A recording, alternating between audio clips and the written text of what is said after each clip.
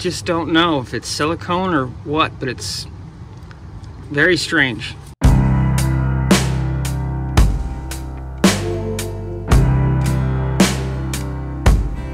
This will be my third and final episode on the Blazer. I'm to cover the power steering reservoir. Went to the junkyard, got some parts, do a little fab with that. I'm also to replace the latch assembly because that's broken. Thanks for watching. I really do appreciate all the new viewers and all the suggestions you guys are giving me. Please, whatever you want to see, let me know. I have a ton of vehicles to work on. I had a successful run today getting parts at the Parts Galore Junkyard at 8 Mile. I got these wing nuts for the air cleaner off of Fiero. They use the same 2.5 liter in some of the early models. And I found a power steering pump reservoir. The only one I could find was actually from uh, like a 97 Firebird with a V6.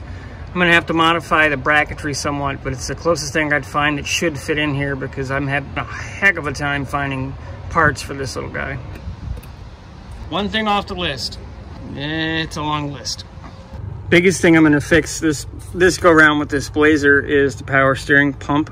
The pump itself might not be bad, but I'm not gonna be sure until I can get some of the crust off of it. They have a very strange setup for how they move the reservoir for the power steering pump. It's mounted to the fan shroud, which I don't believe is factory.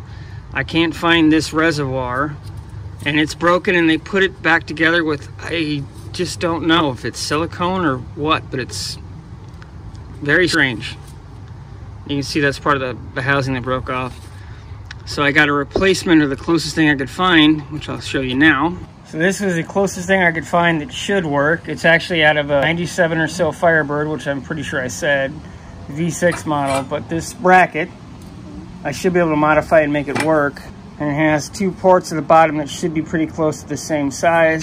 I'm hoping this will solve my problem, and if it does, it was all of seven bucks. So hopefully it's a win. The plan right now is to clean off the pump as much as I can, figure out what shape it's in, get the hose sizing, pull the reservoir off, see where I can mount the part that I got. Also check out the lines and likely go to the local parts place and get them if I can. If I have to, I'll get them from Rock Auto. It really depends on timing and cost. Our first step of getting access to the pump and the reservoir is to take this intake duct off.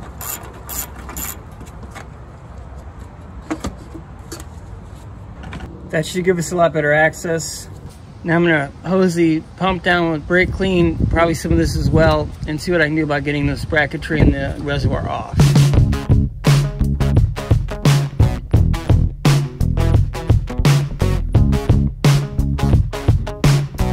Wow, that is thick.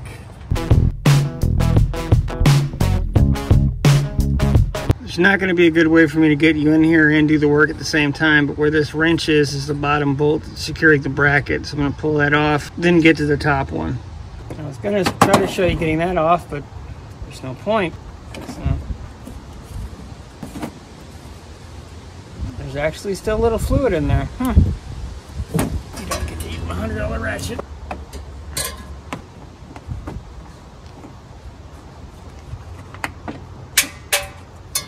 The lower bolt was a real pain in the butt because it has a stover nut on it. A stover nut is basically an egg-shaped nut and it's a lock nut. It's very rarely, if ever, used in automotive circumstances, so I highly doubt this was factory bolt. Take the hose from the reservoir to the power steering pump off. Or not. You get a better shot of the power steering pump goo reservoir, but I don't know what the hell. I'm gonna pull the old reservoir off the bracket. I already tapped these back with a rubber mallet. And this probably isn't gonna go super smooth. No, it's not. I'm gonna have to hit it mallet a little more.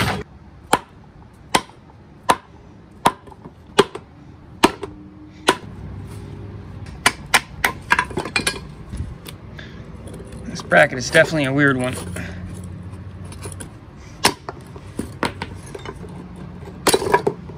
Don't know if I'm gonna have to reuse this bracket, but I at least needed this off to keep trying to fit the new one on. Now I'm gonna try a different approach. I'm gonna try to straighten this arm out, and I think I can mount this to the back of the power steering pump, but we will see. So I flatten this out and flatten both arms out. What I'm gonna do is cut this here and give me a way to see if I can actually fit this in. She's flat.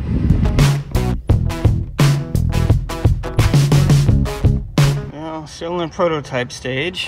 With the arm flattened out, I think I'm gonna have to modify this to come back a little bit and I'm gonna have to see if I can drill a hole in this bracket.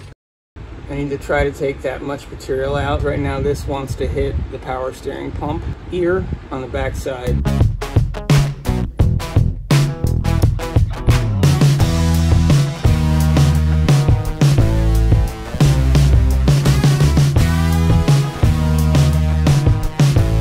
Need to build a standoff for the for the base to sit on the pump. So I need to see what I have in my stockpile of crap here. Ooh, that's ridiculously thick.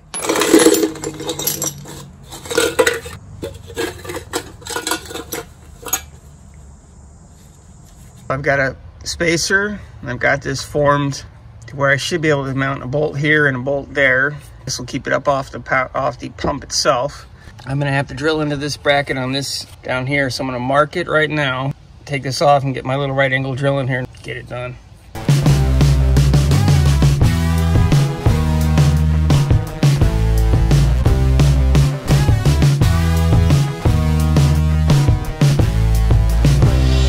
The hole's drilled, I'm gonna hit it with brake clean, blow it off, and test fit the part again.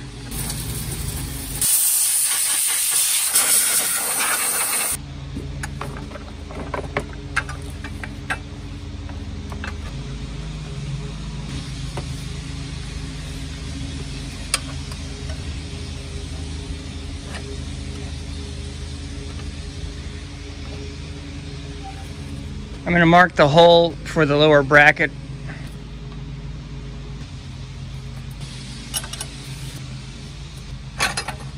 Hole's marked. Now we're going to enlarge the hole for the bottom plate that sits down onto the pump.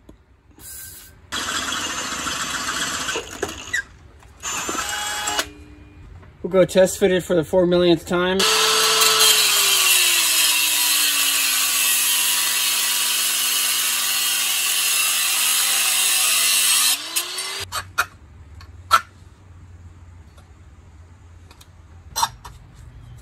I'm gonna hit it with a wire wheel, Scotch-Brite it, hit it with a little acetone, and give it a quick coat of paint just to prevent rust. Um, the paint's finally dry on the bracket. I'm gonna get to installing it. I tighten the vertical bolt first.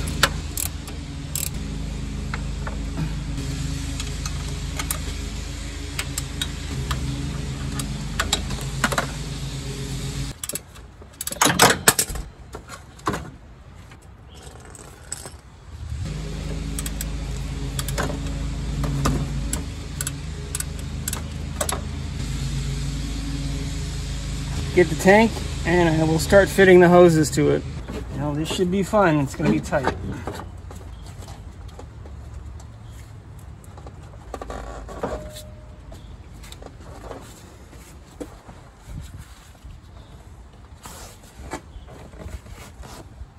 It's in, it's home. Figure out the length of this and I'll be back. The hoses are run, everything's clamped up.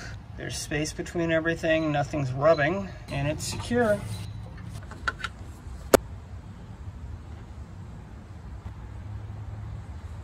I'm gonna let it sit, run the fluid down to the pump because it's basically right there. And then we'll come back, throw it up on jack stands and uh, turn the wheels for an hour and a half. That's been sitting for about 20 minutes. Fluid levels going down just a hair. I'm seeing no evidence of leaks, which is great. Run the steering wheel back and forth a couple times, try to get some fluid cycling through there, check it, and then start it and keep doing it and hopefully clear it out of the system. Because there's definitely going to be air. It. Not much. So I'm gonna go ahead and start it, run it through, and see what we get.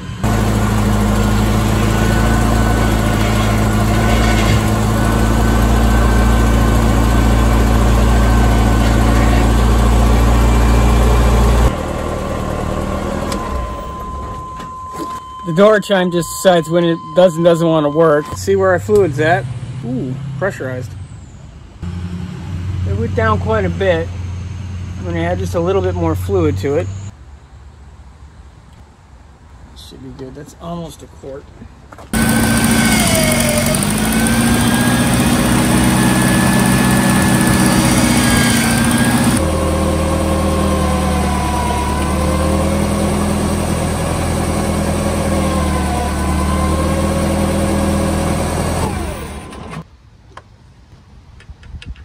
yeah, it definitely sucked down quite a bit of fluid. I've run over everything. I'm seeing no evidence of any leaks at this point. Cycle through probably 20 more times, check the fluid, and then if everything's good, take it for a little road test.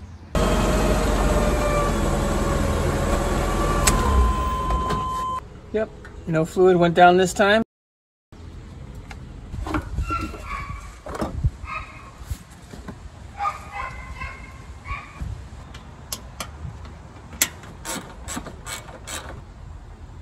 Close the hood, move 17 cars, we'll go for a road test.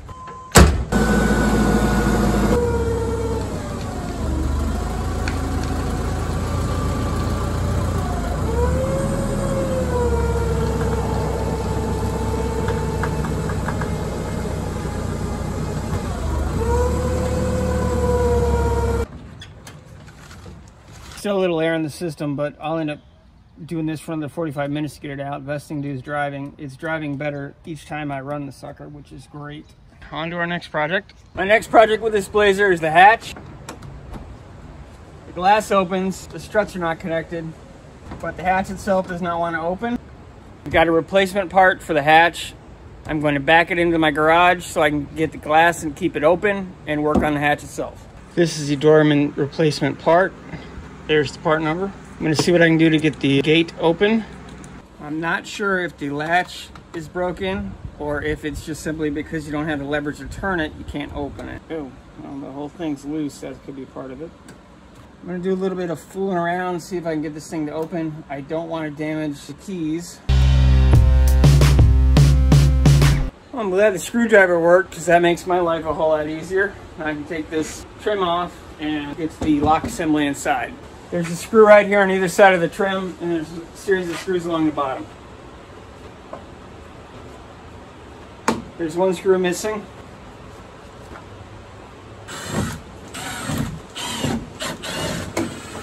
I don't know if there's any trim clips. We'll find out in a second. Apparently not. Get you in here for a look at this assembly. I believe I'm going to have to take this cover plate off that holds, that retains the glass. And then I should be able to access the lock. There's a small arm coming off the lock assembly which moves the rod. There's one rod per side. It looks like the lock is completely separate from all the mechanisms. So I should be able to pull the lock itself out and simply put the new one in. That's what it looks like so far. We'll see in a minute when I get it out. This is the lock assembly cylinder. This is a retaining clip. It looks like this clip was not put back in correctly because it should hold the lock assembly tight. Take the retaining clip out. We should be able to take this lock cylinder out, but it just appears to be damaged, so this might be a little fun.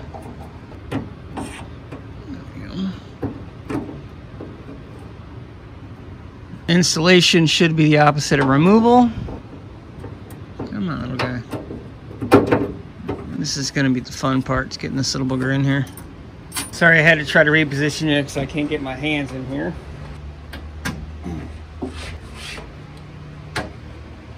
I'll try to demonstrate this on the other one. There's just, you probably couldn't see much, but I needed space to be able to see what I was doing. Take in the key and check it for proper operation. Sweet. So this this edge would ride onto the body itself. This comes in the back. It goes under these little lips right there. And then it wedges itself so that it holds it tight against the body. Before I put anything else on or mess with the glass, I'm gonna make sure this hatch works. Sweet. Once the glass is open, the hatch will freely open itself you cannot get the glass open without the key.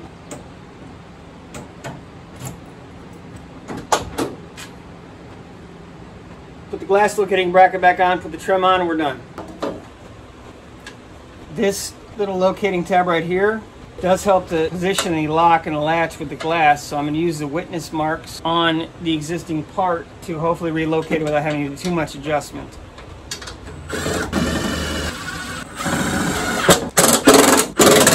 Gonna check the location of the glass into this tab, make sure it all works, then I'll put the trim panel on it. This is the locator hole that lines up with the tab on the glass. This is the tab on the glass that goes into that locating hole.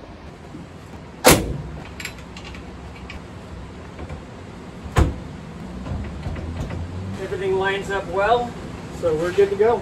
The trim fits over the top and simply slides on.